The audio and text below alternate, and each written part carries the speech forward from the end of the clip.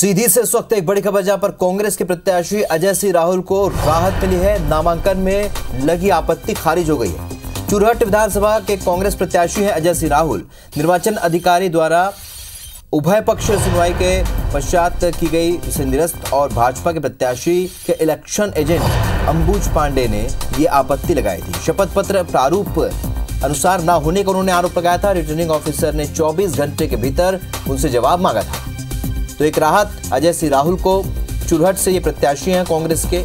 और एक बड़ी राहत अजय सिंह राहुल को आपत्ति जो लगी थी, उसे चुनाव आयोग ने खारिज कर दिया।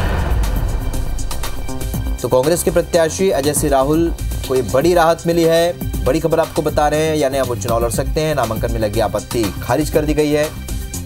चुरहट से प्रत्याशी हैं, कांग्रेस के प्रत्याशी हैं अजय सिंह राहुल।